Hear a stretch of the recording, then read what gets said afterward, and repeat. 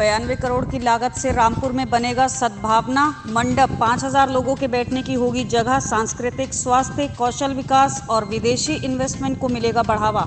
रामपुर में केंद्रीय मंत्री मुख्तार अब्बास नकवी ने प्रधानमंत्री जन विकास कार्यक्रम के अंतर्गत सद्भाव मंडप का शिलान्यास किया। यूपी के कैबिनेट मंत्री नंद गोपाल गुप्ता नंदी भी रहे मौजूद। इस मौके पर केंद्रीय मंत्री मुख्तार अब्बास नकवी ने कहा कि कौशल विकास से लेकर स्वास्थ्य से संबंधित कार्य होंगे। आज इसका शिलान्यास किया है। हम चाहेंगे जल्द ही मुख्यमंत्री आकर इसका उद्घाटन करें। राज्य मंत्री नंदी ने कहा कि बयानवे करोड़ रुपए की लागत से ये जल्द ही बनकर तैयार होगा। अल्पसंख्यक कल्याण मंत्रालय से इसको बनाया जा रहा है। इसकी प्रदर्शनी से लेकर 5000 लोगों के लिए हॉल बन रहा है।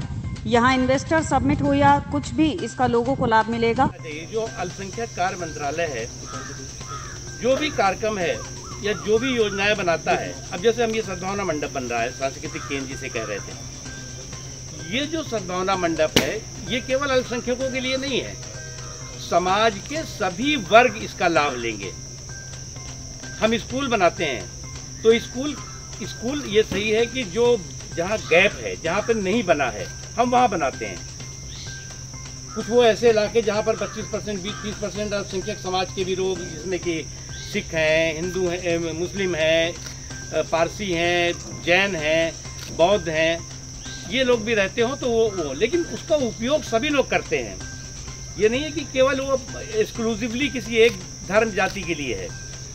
जैसे योगी जी ने आने के बाद जो सबसे मैंने अधिकारियों से कहा कि भाई योगी जी ने आने के बाद जो यूपी में अब तक किया पिछले तीन सालों में वो कितनी योजनाएँ तो तीन हज़ार करोड़ से ज़्यादा थ्री थाउज़ेंड करोड़ से ज़्यादा योगी आदित्यनाथ जी के आने के बाद उत्तर प्रदेश में विभिन्न योजनाएँ हुई, जिसमें कि जो है 282 कॉलेज स्कूल इस तरह के स्मार्ट क्लासरूम 307 आंगनवाड़ी केंद्र 25 कॉमन सर्विस सेंटर्स 31 जो है वो 31 जो है वो सद्भावना मंडप यूपी में बने हैं।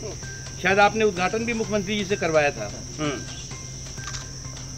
लगभग एक लाख तिहत्तर हज़ार एक सौ फोर्टी थ्री साइबर ग्राम। बनाए गए हैं।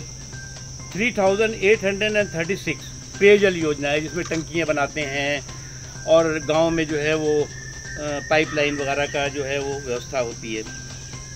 सत्ताईस स्वास्थ्य परियोजना है, जिसमें एक यूनानी कॉलेज, मेडिकल कॉलेज, चार होम्योपैथिक मेडिकल कॉलेज, तीन आयुर्वेदिक अस्पताल, जिसमें कि एक बरेली में भी सौ या सवा सौ करोड़ का शायद अभी स्वीकृत हुआ है। उसका भी उद्घाटन आपको करना है अभी, गंगवार जी कह रहे थे। और 226 कौशल विकास केंद्र 340 स्कूल भवन, उसके अलावा शौचालय, ये वो बहुत है, ये योगी जी ने आने के बाद किया है।